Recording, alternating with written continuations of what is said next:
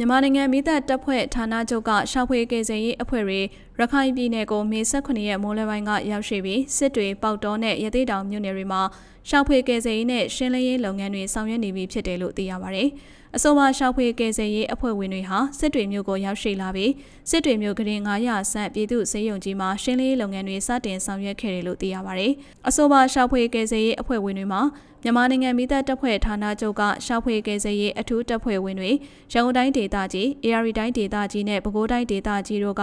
တန်တီအရန်ပရာဟိတတွေပါဝင်တဲ့တပ်ဖွဲ့ဝင်ဦးရေ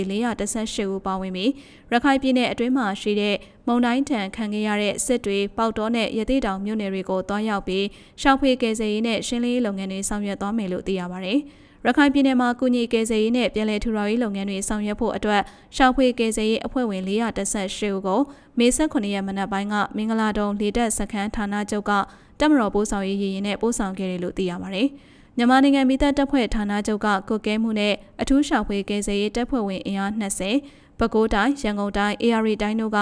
တန်တီအရန်မိသက်တပ်ဖွဲ့ဝင်အင်အား116ဦးစီပါဝင်တဲ့ကုညီကယ်ဆယ်ရေးတပ်ခွဲ3ခွဲနဲ့ရန်ကုန်တိုင်းဒေသကြီးအတွင်းမှာရှိတဲ့မိသက်လုပ်ငန်းတွေမှာပါဝင်ဆောင်ရွက်နေတဲ့အပြင် မိသက်ဦးစီးဌာနကဖွင့်လှစ်တဲ့ခရိုင်အဆင့်ရှာဖွေကယ်ဆယ်ရေးတင်နန်းတွေတက်ရောက်အောင်မြင်ထားတဲ့ပရဟိတလူမှုရေးအသင်းအဖွဲ့တွေကအင်အား90စုစုပေါင်းအင်အား418ဦးဖြစ်ကြောင်းထုတ်ပြန်ချက်အရသိရပါဗျ။